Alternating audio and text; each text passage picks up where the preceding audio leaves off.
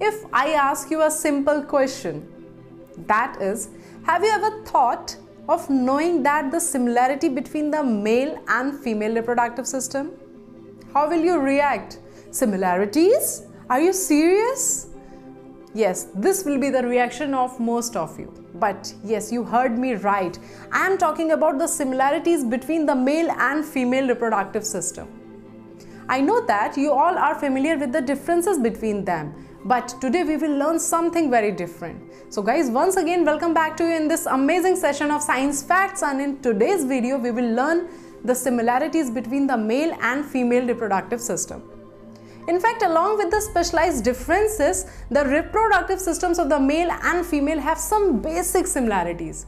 They are the same in the sense that I will tell you one by one some important points so that you can understand them very clearly. The first one is that is the most of the reproductive organs of both sexes develop from similar embryonic tissue, which means they are homologous. The second important point is that both systems have gonads that produce sperm in the case of male as we all know and egg or ovum in the case of female. And the third important point is that both systems experience maturation of their reproductive organs which become functional during the puberty as a result of the gonads secreting sex hormones. Besides, I made the following table that will help you to understand the similarities between them. This table in fact classifies the male and female sex organs which fundamentals are same but male and females have been given different names. Why? Because of their different structures. Here you can see. However, for the better understanding, the common name is also given. So let's check out this table first.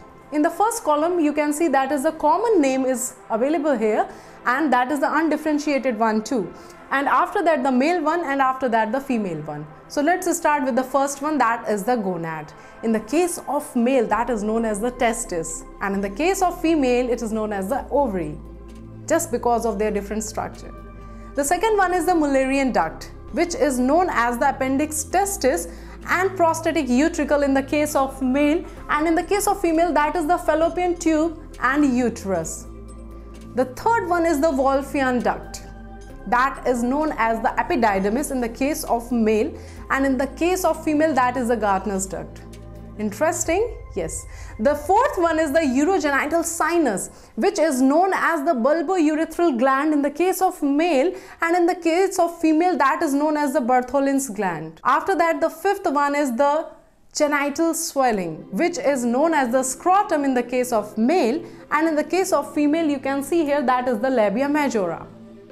The last one is the genital tubercle, which is known as the penis, that is for the male, and clitoris, that is for the female. So this is all about the similarities between the male and female reproductive organs.